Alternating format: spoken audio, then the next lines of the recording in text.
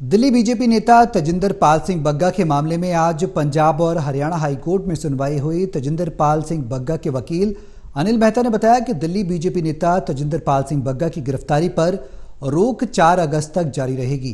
उन्होंने बताया कि पंजाब की तरफ़ से इस मामले से जुड़े वीडियो और फ़ोटोज़ अदालत के सामने रखे गए, लेकिन इन वीडियो का केस से कोई लेना देना नहीं है और न ही पंजाब पुलिस ने बग्गा से कोई पूछताछ की है।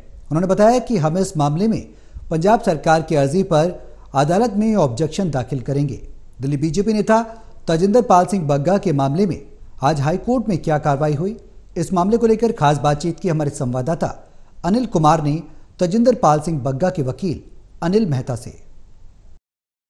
दिल्ली भाजपा नेता तेजेंद्र पाल सिंह बग्गा के मामले में हाई कोर्ट में क्या कार्रवाई हुई, इस मेरे साथ हैं एडवोकेट अनिल मेहता। इनसे जानते हैं कि आज अदालत में क्या कार्रवाई हुई है। गाबा साहब, अदालत में पेशी के दौरान पंजाब सरकार के वकीलों ने कुछ एक दस्तावेज़ कोर्ट में सप्लाई किए, कुछ प्लेस ऑन रिकॉर्ड की, कुछ फोटोग्राफ्स और कुछ दस्तावेज़, जिसका हमने विरोध किया और ये कहा कि इनका इस केस से कोई लेना देना नहीं है। तो कोर्ट ने अगली तारीख चार अगस्त तय की है, जिसमें हमें कहा गया है कि आप अपने ऑब्जेक्शन फ़ाइल कर सकते हैं। आज की तो यही कार्रवाई है।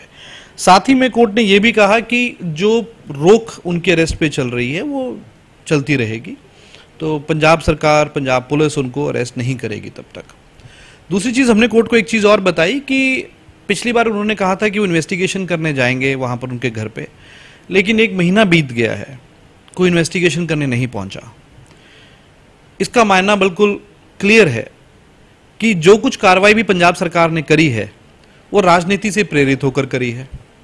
अगर इतने ही वो उनको लगा कि कुछ बड़ा अपराध तेजिंदर सिंह बग्गा ने किया है। तो एटलीस्ट उनको इन्वेस्टिगेशन तो ज्वाइन करानी चाहिए थी जो अभी तक नहीं कराई गई। मेहता साहब ये पूरा मामला क्या है? देखिए तेजिंदर सिंह बग्गा ने अरविंद केजरीवाल जी के एक बयान के ऊपर कुछ ट्विटर पर कमेंट्स किए थे। कमेंट्स जो हुए वो दिल्ली में हुए। केजरीवाल साहब का पंजाब से कोई लेना देना नहीं है। ना जाने क्यों पंजाब सरकार हरकत में आई और एक फेक सी कंप्लेंट तेंद्र सिंह बग्गा के खिलाफ यहाँ फ़ाइल हुई।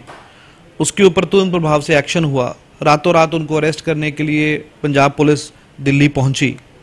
गैर कानूनी तरीके से किस कहीं पर भी उन्होंने कानून की प्रक्रिया को फॉलो नहीं किया। गैर कानूनी तरीके से उनको अरेस्ट किया और लेकर उनको पंजाब की तरफ़ आ रहे थे। सही मानने में तो उसे अपहरण कहा जाएगा बिकॉज़ वो कानूनी प्रक्रिया के अंतर्गत नहीं आता है। तेंद्र सिंह बग्गा की फैमिली ने उसके खिलाफ कंप्लेंट करी, एफआईआर दर्ज की। दिल्ली पुलिस ने हरियाणा पुलिस के सहयोग के साथ पीपली में नाका लगाया। तेंद्र सिंह बग्गा और जो गलत तरीके से उनको गिरफ़्तार करके कुछ लोग जो पंजाब पुलिस की ड्रेस में थे, लेके जा रहे थे, उनको रोका गया। वापस तेंद्र सिंह बग्गा को दिल्ली ले जाया गया। कुछ दिनों के बाद वापस उनके नाम के अरेस्ट वारंट्स मोहाली से वो इशू करवाते हैं, सात तारीख को। मुझे, जहाँ तक मुझे लगता है सात तारीख है। और फिर उन अरेस्ट वारंट्स के खिलाफ हम रात को कोर्ट में जाते हैं। ग्यारह, साढ़े ग्यारह बजे, बारह बजे कोर्ट उसका संज्ञान लेता है और कोर्ट उनकी अरेस्ट के ऊपर स्टे कर देता है। ये फ़िलहाल पूरा मामला है। मेहता जी, जिस तरह भी आपने बताया कि चार अगस्त तक तेजेंद्र पाल सिंह बग्गा की गिरफ्तारी पर रोक जारी रहेगी तो चार तारीख को अदालत में क्या कार्रवाई हो सकती है? देखिए, चार तारीख से पहले एक तो हम अपने ऑब्जेक्शन फ़ाइल करने लग रहे हैं कि जो भी उन्होंने कंप्लेंट जो एप्लीकेशन फ़ाइल करी है, कुछ डॉक्यूमेंट्स प्लेस ऑन रिकॉर्ड करे हैं। एक तो उसका हम ऑब्जेक्शन फ़ाइल कर रहे हैं। और दूसरा, पंजाब सरकार ने भी जवाब करना है फ़ाइल करना है, वो भी तक नहीं आया है। उसका इंतज़ार है, देखते हैं क्या जवाब वो फ़ाइल करते हैं। नहीं तो बहस हो जाएगी।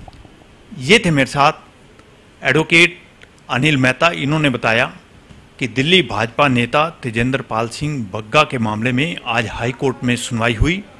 और उनकी गिरफ्तारी पर रोक 4 अगस्त तक जारी रहेगी। Anil Kumar total news Chandigarh.